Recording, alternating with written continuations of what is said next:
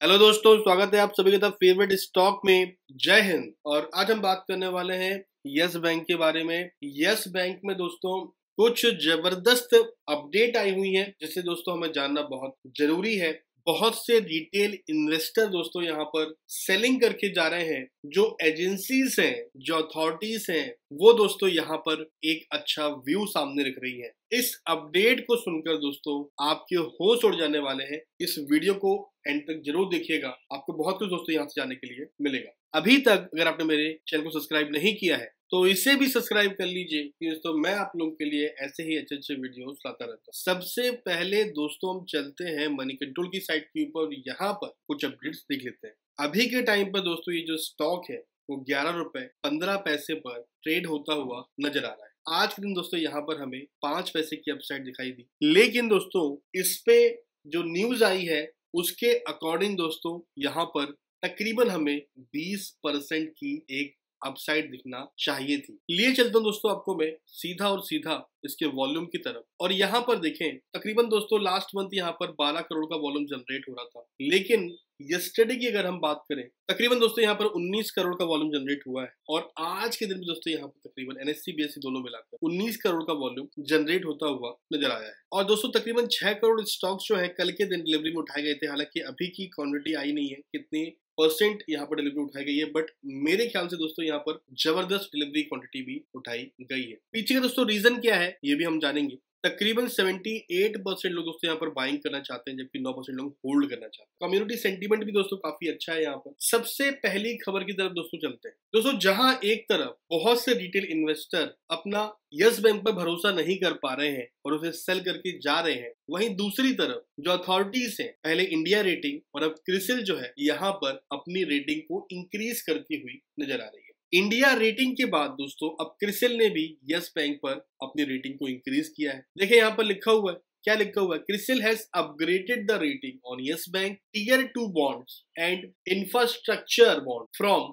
triple B to triple B plus so पहले दोस्तों यहाँ पर ट्रिपल बी की रेटिंग थी और उसे अभी जो है ट्रिपल बी प्लस कर दिया गया है। और उसके साथ ही साथ दोस्तों यहाँ पर कहा गया है on the greater stability in its deposit base तो डिपॉजिट में दोस्तों यहाँ पर बहुत ही अच्छी एक स्टेबिलिटी नज़र आई है। इतना बड़ा क्रैश हो गया दोस्तों, लेकिन मैं आपको बता दूँ, जो नॉर्मल एक कंज्यूमर था, जिसका पैसा दोस्तों यस बैंक में जमा था, उसका एक रुपए भी नहीं डूबा बैंक ने सबके पैसे लौटाए हैं और अब उन कंज्यूमर का दोस्तों भरोसा बहुत ज़्यादा है यस बैंक के प्रति। देखिए, यहाँ पे लिखा हुआ है the rating agency also revise the rating for bank certificate of deposits from A two plus to A one so deposit जो है दोस्तों, उसमें पहले ए टू प्लस की रेटिंग थी, पहले भी अच्छी रेटिंग ही थी, लेकिन इसे अब एक कदम और बढ़ा दिया गया है, इससे दोस्तों अभी ए वन कर दिया गया है। यहाँ पर देखिए दोस्तों लिखा हुआ है Yes Bank total deposit has increase 1.63 trillion as June 30 and from 1.17 trillion a year ago तो अब देखिए 1.17 से 1.63 दोस्तों ट्रिलियन हो चुका है। मतलब काफ़ी अच्छा दोस्तों यहाँ पर हमें एक ग्रोथ दिखाई दी है। और साथ ही में दोस्तों अगर देखें ईयर उसके पहले 1.05 ट्रिलियन था। मार्च थर्टी फ़र्स्ट ट्वेंटी की हम बात कर रहे हैं। The proportion of current account and saving account मतलब कासा जो होता है दोस्तों उसमें काफ़ी अच्छा एक इम्प्रूवमेंट नज़र आया है। एक ट्रेंड नज़र आया है इम्प्रूविंग का। यहाँ पर देखिए लिखा it's showing an improving trend The share of CASA deposits stood at 27.4% as on June 30, 2021, as against 25.8%. So 25.8 percent से दोस्तों 27.4 परसेंट दोस्तों हुआ ये। एक बड़ी ग्रोथ है कासा डिपॉजिट्स पे। सो so, दोस्तों जो एक अथॉरिटी वाली एक रेटिंग कंपनी है वो दोस्तों इस बैंक को काफ़ी ही बेहतर बता रही है। और साथ ही में दोस्तों उनका साफ़ साफ़ कहना है कि Yes Bank is continuously improving और उनका जो ट्रेंड है इम्प्रूवमेंट का वो काफ़ी ऊपर जाता हुआ नज़र आ रहा है। तो ये दोस्तों बहुत ही अच्छी बात है। अच्छा दोस्तों ये हो गई पहली खबर। दूसरी खबर दोस्तों यहाँ पर क्या हुई है? चलिए वो भी देख लेते हैं। देखिए दोस्तों, दूसरी खबर यहाँ पे लिखी हुई है। Twelve entities express interest in Yes Bank ARC proposal हम सभी जानते हैं कि असेट रिकंस्ट्रक्शन कंपनी के बारे में दोस्तों यस बैंक अभी खुद प्रयास कर रहा है और उसने प्रपोजल देने के लिए बहुत लोगों को बोला था। तो यहाँ पर 12 लोगों ने दोस्तों प्रपोजल दिया हुआ है। देखिए लिखा हुआ है। Yes Bank Limited has received expression of interest from दर्जन investor for for setting up an asset reconstruction company with the private sector lender as the minority partner two people aware of the development said some of the private equity firm who have shown the interest, including Brookfield Asset Management, पहला दोस्तों RS SSG Octree Capital Management JC Flower Verde Capital दोस्तों, ऐसे ही 12 नाम आपको यहाँ पर दिखाई देंगे।